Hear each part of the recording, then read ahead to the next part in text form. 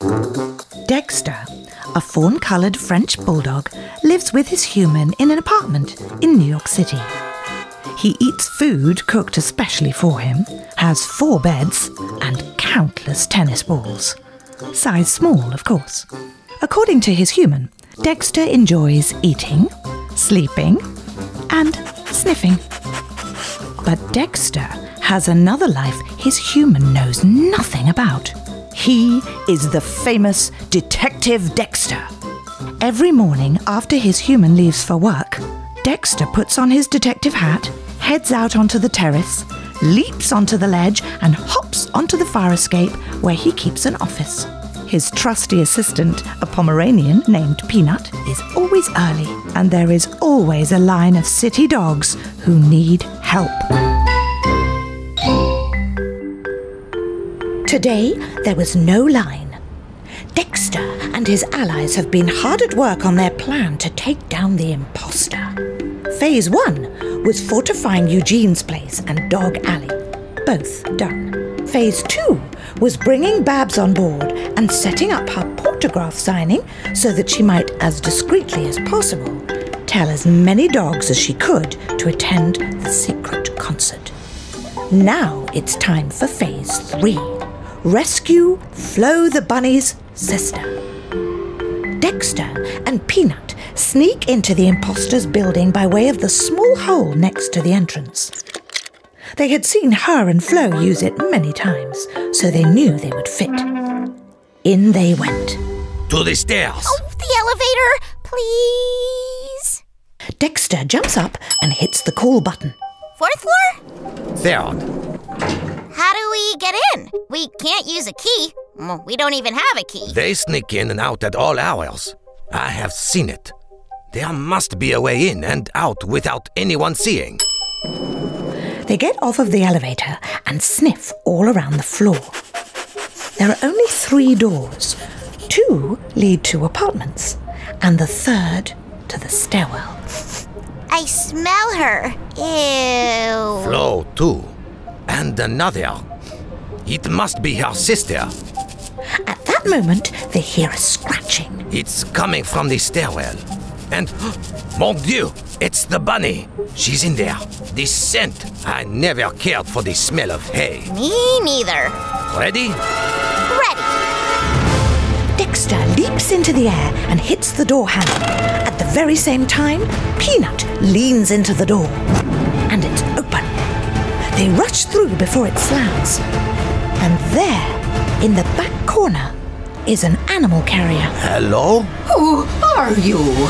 We were sent by your sister. Flo. We have come to set you free. That's what the dog said every time she wanted information to hold over my sister. Well, we are not that dog. The imposter. And I ain't no snitch. Glad to hear it.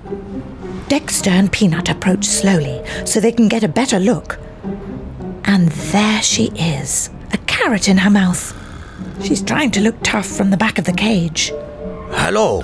Do not be frightened. Wow, you and Flo look exactly alike. It's called DNA. Now that I think of it, I do not recall Flo ever telling your name.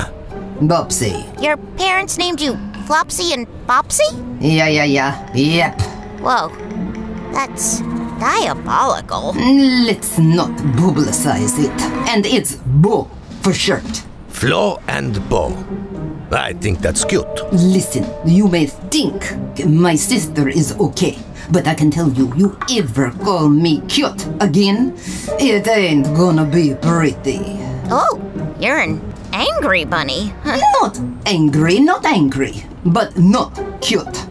I'm tough. We understand, but we do not have much time. Bo, Flo said you were trapped here by the imposter, and we are here to rescue you. Yeah? Well, where am I gonna go? Hmm, You can stay with me. Are you sure? Yeah, my human gets one look at you, and you're in for life. She loves rescuing animals. She's a really wonderful person. She even tried to rescue a cockroach from the shower drain once. He ran. Far. She's so funny. Yes, she is quite nice. Especially when she comes to movie night. She makes those little banana snacks. I love them. Uh, now I'm hungry. Let us get this door open and we can all go and have a little something to eat. Great, because I'm sick of this carrot. Even though carrots are my favorite food, I could use a fresh one. Crunchy. Dexter and Peanut open the door to the crate, and out hops Bo. Lovely to meet you. Now, let's get out of here. So bossy. How cute. Careful. How great. Yeah. Bo, we have much to tell you. Perhaps over a nice day old bagel. No, no, I'll take some romaine lettuce and uh, a sprig of parsley. We can make that happen. I'll stick with my bagel. And I'll take any way I can to bring that imposter down. That we are working on. Dexter, Peanut, and Bo head back downtown. They stop at a bagel shop, and sure enough, the day olds are out back, discarded. Ah, perfect. They find Bo some snacks as well, and then they settle in at Dexter's office, where Dexter and Peanut tell Bo from start, the imposter posing as Babs and asking Dexter for help, to finish. The plan to bring the imposter down. And you need me to be Flo? We. Mm, you have arrived at the right place because this I can do. And once they're back, it's all paws on deck. Mm, this bunny is as agile as ninja, sly as a cat, quick as a cheetah, tough as an elephant. We get the picture. It's good to have you on the team, Bo. All I know is this lettuce hit the spot. Gotta stock up on my energy. this is getting weird. Peanut. Yeah, yeah, yeah.